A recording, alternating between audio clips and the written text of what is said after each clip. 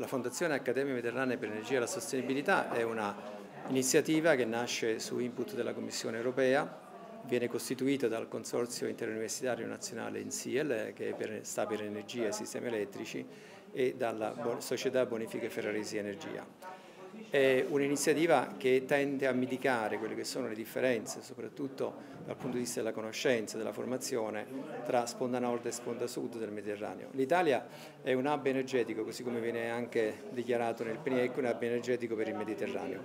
Questo è fondamentale eh, per l'Italia, ma ci carica anche di responsabilità. Non a caso la Commissione eh, ci chiese di realizzare un'iniziativa che puntasse a mitigare quelle che sono le criticità per la realizzazione di un sistema energetico integrato a livello europeo. Quindi integrato significa soprattutto integrare le conoscenze, condividerle e condividere eh, i punti di vista anche con questi paesi, soprattutto anche dal punto di vista regolatorio e non soltanto dal punto di vista tecnologico. Quindi la Fondazione si pone proprio questo come ruolo. Sicuramente le risorse umane, la formazione delle risorse umane è fondamentale da questo punto di vista, quindi per noi eh, come Fondazione ha grande importanza la formazione dei giovani e non solo, ma anche la formazione eh, diciamo, nel tempo anche dei tecnici, l'upgrade in pratica di conoscenze di queste mm, risorse e, e, quindi per questo noi possiamo contare eh, come fondazione su un sistema universitario italiano molto importante costituito da 30 università che lavorano nel campo dell'energia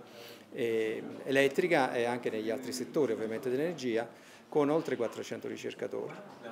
Questo significa avere una capacità non solo formativa ma anche di ricerca per cui possiamo affrontare queste sfide attraverso la Fondazione eh, con, con, dire, con capacità sia quantitativa che qualitativa.